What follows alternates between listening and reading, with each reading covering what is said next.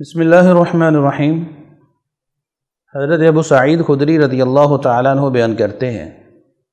رسول اللہ صلی اللہ علیہ وسلم نے ارشاد فرمایا، ایمان والوں میں کامل ترین ایمان والے وہ ہیں جن کے اخلاق سب سے عمدہ ہیں، جو کندھے بچھا کے رکھتے ہیں، لوگوں کے ساتھ محبت کرتے ہیں، لوگ ان کے ساتھ محبت کرتے ہیں۔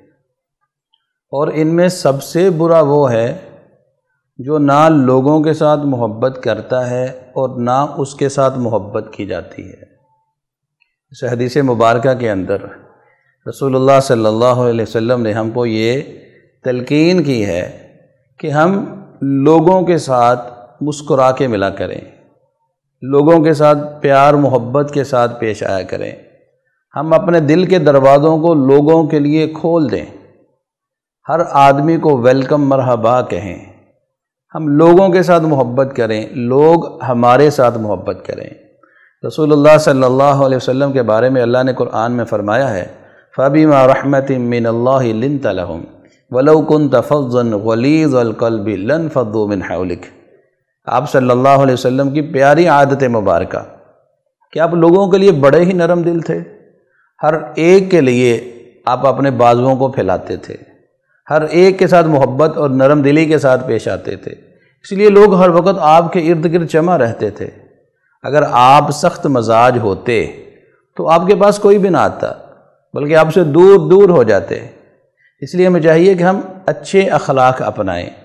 رسول اللہ صلی اللہ علیہ وسلم کا فرمان کہ ان اللہ کریم، اللہ تبارک و تعالی معزز ہیں اور رحم دلی کو، پیار محبت کو پسند فرماتے ہیں۔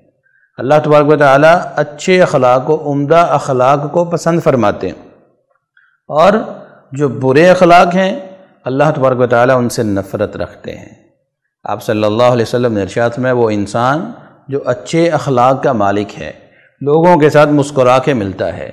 وہ دن کو روزہ رکھنے والا اور رات کو قیام کرنے والا، یہ دونوں بڑے عظیم عمل۔ دن کے وقت روزہ رکھنا اور ایک حدیث میں کہ وہ گرمیوں کی شدت کو، پیاس کو بھی برداشت کرتا ہے۔ اور دوسری طرف وہ انسان جو راتوں کو قیام کرتا ہے اور وہ لمبی لمبی آیات کے ساتھ لمبا طویل قیام کرتا ہے۔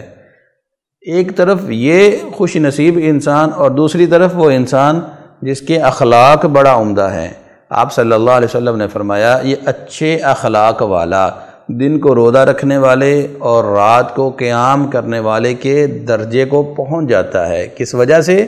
کہ اس کا اخلاق بڑا عمدہ ہے۔ اس لیے ہم عمدہ گفتگو کیا کریں، صاف ستھری گفتگو کیا کریں اور پیار، محبت کے ساتھ ہم اپنے دوست احباب کے ساتھ، اپنے رشتہ داروں کے ساتھ بولا کریں تاکہ اس عمدہ اخلاق کی وجہ سے اللہ تبارک و تعالی ہمیں آخرت کے اندر بہترین مقام و مرتبہ عطا فرمائے۔